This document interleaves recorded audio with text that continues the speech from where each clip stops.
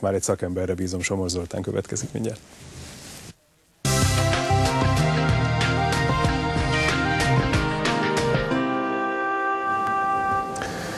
Jó reggelt kívánok! Lóránt András kosárlabda menedzser a vendégünk. Ez szerintem már önmagában érdekes, mert nem tudunk sokat a kosárlabda menedzserek világáról, a sportmenedzserekéről sem feltétlenül, de hát még érdekesebb, hogy ugye Hanga Ádámot a jelenlegi legjobb magyar férfi kosárlabdázót képviseled és kísérted az elmúlt hetekben, aki Spanyolországba szerződött, de hosszabb távon vele kapcsolatban már az NBA-t emlegetik valójában hol áll most Ádám ügye. Ő sajnos most nincs itt, láthattuk a héten a híradóban többször is, és majd fogjuk is.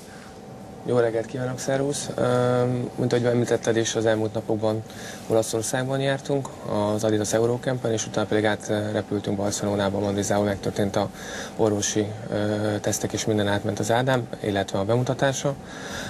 Jelenleg pihen, július 4-én kezdődik a, a válogatott program, a Litvániai Európa bajnokság a cél, és nem szeretnék elébe menni, mert az NBA többször mondtuk, hogy reális, nem reális. Jövő héten lesz a, a draft New Jersey-be. Én azt mondom, hogy jövő héten csütörtökön vagy pénteken fel az Ádám ugyanaz a játékos marad, akinek még rengeteget kell fejlődnie, és, és, és röviden az NBA-s távlatokról ennyit tudnék most mondani jelenleg.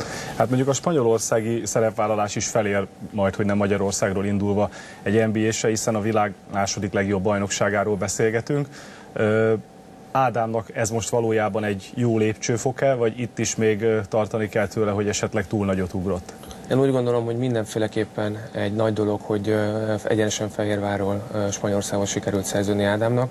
Kint a szakemberek televízióban mind nagy örömmel fogadták, hogy a Mandréza csapatában fog játszani az elkövetkező években. Ugye Spanyolországban a Mandréza csapatára azt tartják, hogy kisköltségvetésű, ezért fiatalokat szerződtetnek, akiknek rengeteg játék lehetőséget tudnak adni. Ezért Ádámnak az elkövetkező hónapokban lesz lehetősége fejlődnie, és, és, és hogy még jobb játékos váljon belőle, mivel sok játékpercet fog kapni a parketten.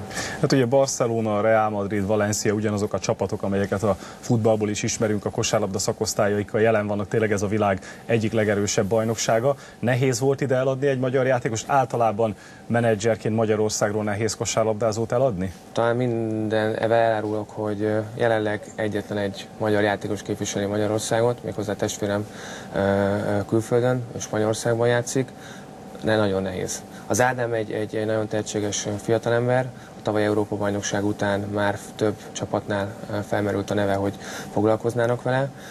Én úgy gondoltam, hogy Spanyolország lehet az a cél, illetve az a célállomás, ahol, ahol úgy tud fejlődni olyan ütemben, ahogy ezt megkívánják. Hosszú folyamat volt, illetve a, a, a szezon közben voltak más ajánlatok is. Összessége mondva, magyar játékosnak jelenleg, hogy külföldön játszon, nagyon kicsi az esélye. De miért van ez így? Ugye azt, a futballunk sincs magasan jegyezve, de hát mégis több tucat játékos játszik Európa szerte. Ennyire gyengék vagyunk? Nem, én nem azt mondanám, hogy gyengék vagyunk, csak az, hogy legtöbb klub válságmenedzseléssel foglalkozik, és nem pedig tudatos karrierépítéssel. Nagyon nehéz jelenleg a, a gazdasági helyzet a sportban is, és uh, amíg nem játszanak külföldi kupákban, idén, idén csak a szolnok volt, aki nagyon uh, hosszú, ideig is elment és szép munkát uh, végzett. Ehhez mellé legalább kell egy-kettő magyar csapat. Jó lenne, hogyha most hallunk, hogy másik csapat is elindulhat mondjuk egy Fibero Challenge-be, szólok meg mondjuk egy-két év előtt tovább lépjen, és ehhez nagyon fontos, hogy a válogatott évről évre kijusson európai, illetve világversenyekre. Hát ez a ti dolgotokat is megkönnyíteni, és lesz NBA játékos Hanga Ádámból?